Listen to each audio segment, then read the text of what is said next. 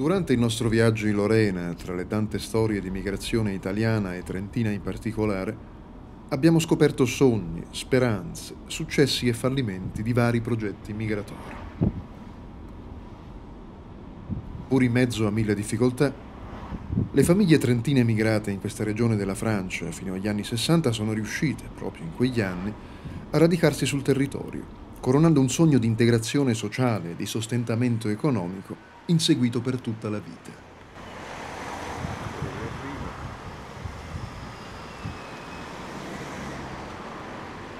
Ma cosa rimane oggi di tutto questo? Scomparso il sistema minerario e la struttura paternalistica su cui si impiantava gran parte della vita sociale del territorio, cos'è rimasto di quei sogni, di quei progetti, delle fatiche e dei risultati del lavoro di una vita? Cercheremo di capirlo in queste ultime due puntate, parlando dell'allagamento delle vecchie gallerie di miniera, chiuse ormai da decenni, e dei disperati tentativi di un territorio di emanciparsi dalla monoindustria del ferro.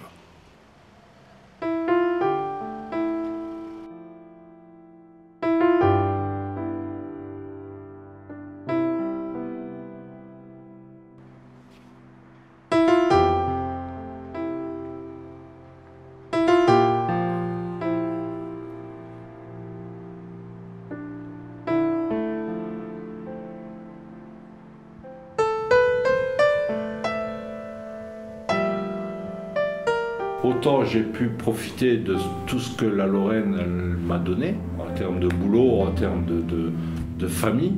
Euh, j'ai une évolution de carrière qui m'a permis de, vivre relativement bien. J'ai une maison qui me convient, puis le reste, je m'en fous.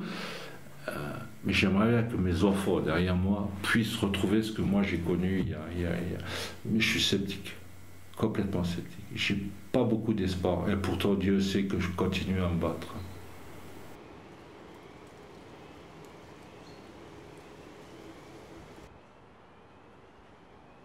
Ici, on est sur un carreau de mine qui a été, euh, qui a été fermé dans les années 85-86. Euh, le carreau, le, le, carreau, le carreau, on appelait le carreau de la mine, on appelait le carreau de la mine, le lieu où les gens, sur où les mineurs se retrouvaient, aller euh, prendre leur poste de travail et descendre au fond de la mine.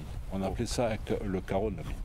C'était aussi une place euh, où les mineurs se retrouvaient lorsqu'il y avait des mots d'ordre de grève ou lorsqu'on leur, leur disait d'arrêter le travail.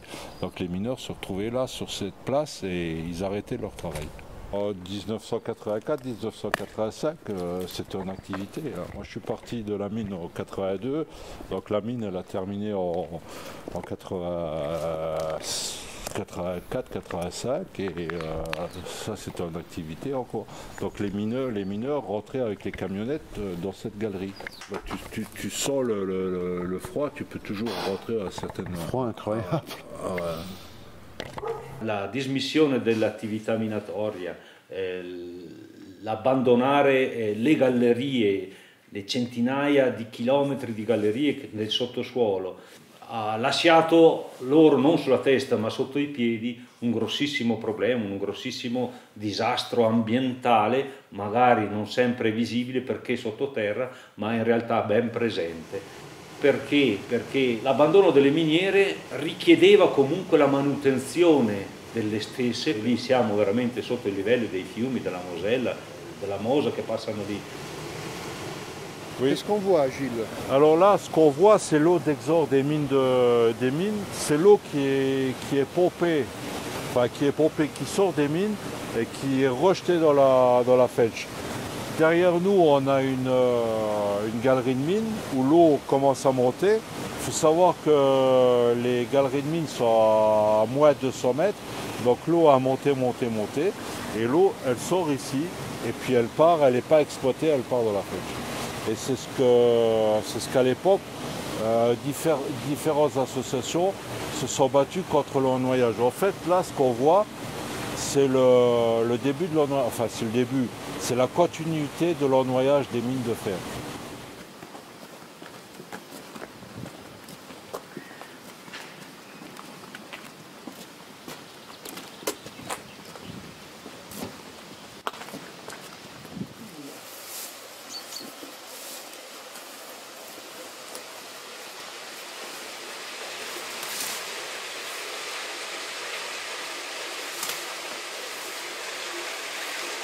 Voilà.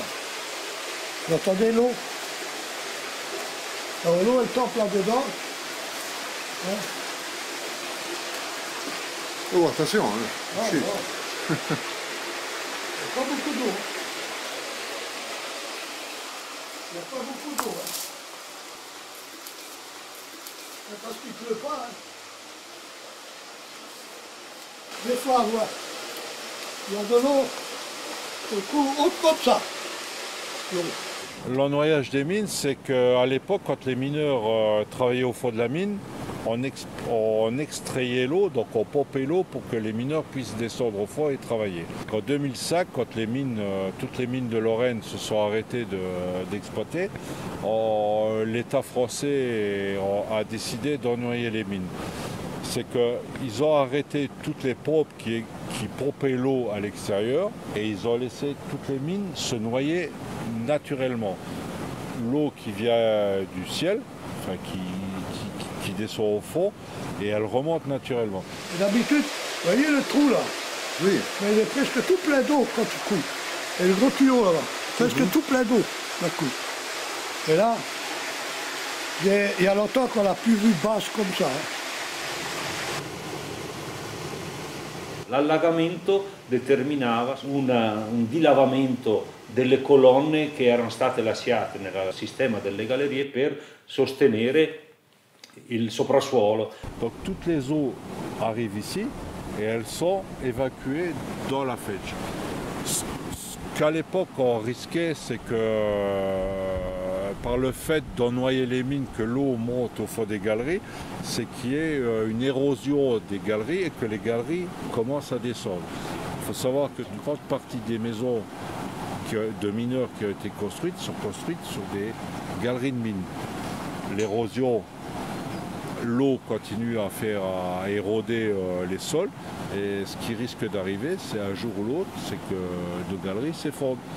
Questo ha portato veramente a un grosso disastro eh, che eh, alla fine in tantissime zone ha determinato proprio l'abbandono anche di quelle case che, che con sudore si erano eh, guadagnate, quel sogno infranto sostanzialmente. Perché? Perché il rischio era veramente di crollo, di sprofondamento, per cui si sono trovati alla fine di due o tre generazioni di emigrazione a riprendersi la valigia in mano e andare altrove.